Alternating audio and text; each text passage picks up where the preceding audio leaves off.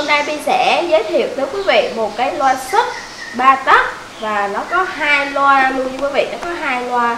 Phía trước phía sau đều có loa cả. Và cái loa sub này đến từ hãng Calip của Mỹ nha, Made in USA, được sản xuất tại Mỹ nha quý vị.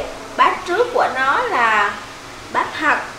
Nói chung là hai bát uh, đều như nhau. Nói chung là về chất liệu đều như nhau, găng là bằng cao su màng giấy như nhau hết nha quý vị.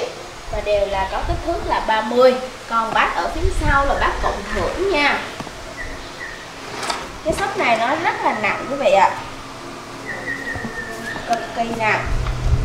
Ít có cái súp nào mà ba tấc hết. À, không, xin lỗi, ít có cái tấc à, cái súp nào bị bán ở đó thì ít có cái súp nào mà nó có hai loa bát như vậy, có hai loa trầm như vậy nha quý vị. Rất là ít thì hôm nay Bi về được cái mà của hãng Calip nữa. Thì quý vị nó rất là nổi tiếng rồi. Bây giờ Bi sẽ quay cái model của nó nè. Model của nó là SW 12 nha. Đây là model của nó SW 12 đây là cái ờ, logo. Nó vẽ lên đây quý vị ạ. Đây ở phía sau. Mình gắn vào để quý vị nhìn nha.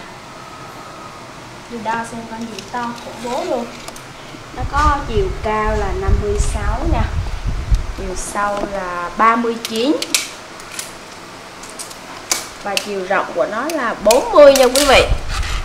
Bát này là bát cộng hưởng nha. Bát phía sau là bát cộng hưởng. Bát phía trước là bát thật và mức giá mà bên bán cái loa xuất Mỹ của hãng Calip này với mức giá là 9 triệu 500 ngàn.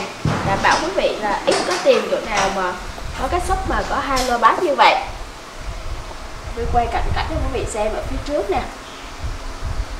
Còn bây giờ thì Vi sẽ thử để cho quý vị nghe cái uh, tiếng của loa này cái loa sách này nó như thế nào. Nói chung là rất là ấm rất là lực. Ai cần uh, dùng để karaoke hoặc nghe nhạc đều tuyệt vời hết. Nhớ liên hệ với Bi qua số điện thoại bên góc màn hình cho quý vị.